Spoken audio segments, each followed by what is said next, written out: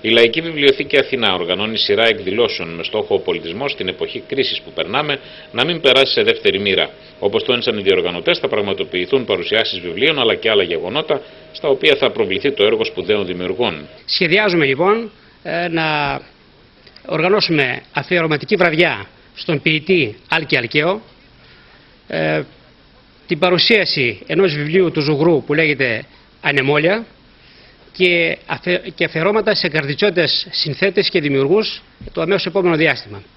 Παράλληλα, επειδή τούτες τις μέρες γίνονται ανταλλαγές δώρων κλπ, εμείς θα προτείναμε μια σειρά βιβλίων ή μάλλον το δωράκι που θα κάνει κάποιος, θείος, θεία, νονός, μαμά, μπαμπάς, οποιοδήποτε και αν είναι, ε, θα προτείναμε να είναι βιβλίο.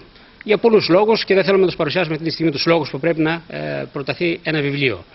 Ε, έγινε μια τέτοια επιμέλεια ε, από τον Κώστα, τον Παπαλέξη και τη ζωή τη Χαλάτζη, φιλόλογο και βιβλιοθηκονόμο αντίστοιχα, που προτείνουν τέτοια βιβλία για τους, ε, και για τους πολύ μικρούς φίλους, αλλά και για τους πολύ μεγαλύτερους έφηβου κλπ.